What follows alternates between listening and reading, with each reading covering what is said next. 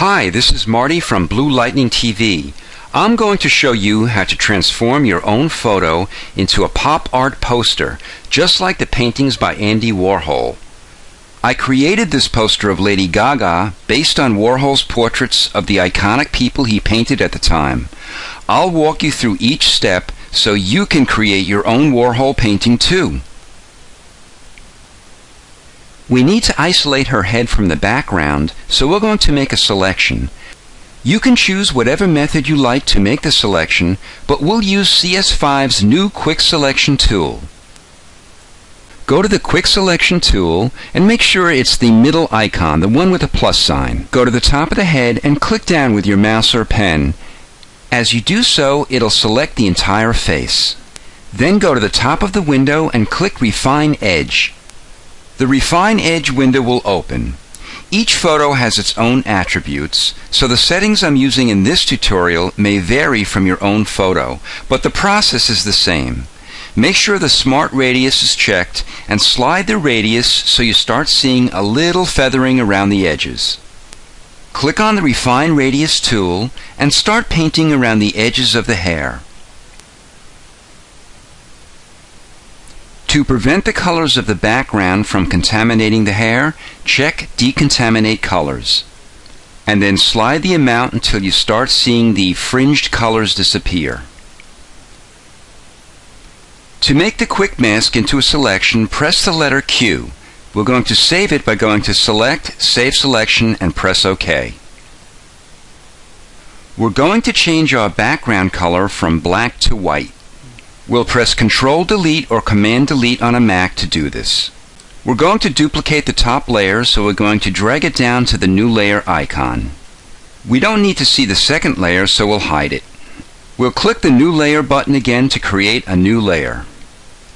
We want to make everything we see now and put it into our new layer.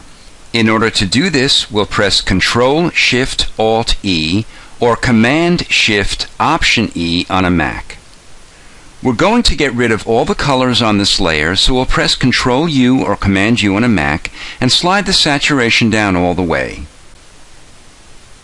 We're going to increase the contrast and get rid of the middle tones by pressing Ctrl L or Command L on a Mac to bring up the levels window.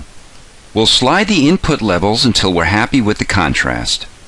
We'll go to Filter, Filter Gallery, and click on the halftone pattern. We'll set the size to 1, contrast to 3, and make sure the pattern type is dot. Press OK. We still need to increase the contrast, so we're going to call up the Levels window. Press Ctrl L or Command L on a Mac. And then we'll slide the input white level down. We'll go to Filter, Sharpen, Smart Sharpen.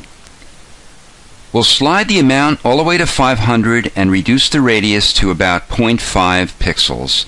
Remember, because each photo is different, the settings may differ from one to the other. We'll click OK. We're going to create a new layer below the top layer. We'll press Control or Command on a Mac as we click on the New Layer button. This immediately creates a new layer. We want to fill this layer with white, which is our background color, to do this, we'll press Alt Delete or Option Delete on a Mac. We're going to make the top layer into a selection, so we'll press the Channels tab. We'll click on the Channels button and then go back to Layers. We'll make a new layer by clicking on the New Layer button and then we'll go to Select, Inverse, which will inverse the selection. We'll press Alt Delete or Option Delete on a Mac to fill the selection with black. We'll click on the layer below it and then click on the New Layer button. We'll press Control Delete or Command Delete on a Mac to fill the layer with white. We'll grab the layer of Marilyn Monroe and bring it all the way to the top layer. We'll put the eyeball on to make her visible and then choose the background color. We'll hide that layer and make the layer under Lady Gaga active. This layer will be where we put the colors. We'll press Alt Delete or Option Delete on a Mac to fill the background with a foreground color. We'll go back to the top layer and click on her face for the color. We'll go back to the top layer and hide it, and we'll click on the Lady Gaga background and paint in her face. We'll go back to the top layer and choose the color for her hair. We'll hide the top layer, click on the Lady Gaga background, and paint in her hair. We've painted in her eyes and mouth, and now we're painting in her necklace. We'll click on the Marilyn layer again and choose the color of her lips. We'll hide the top layer and make the layer for Gaga active again. We'll get the magnifying tool and magnify up her mouth. We'll paint in her lips now. We purposely went past her lips in order to keep the look and feel of Andy Warhol's portraits. We'll choose the color of her hat, which happens to be a slab of raw meat.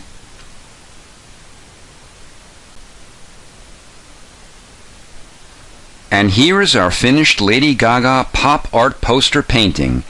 Have fun creating your own. Thanks for watching. Please subscribe to Blue Lightning TV. There you'll find great tutorials, tips, and tricks in Photoshop and After Effects.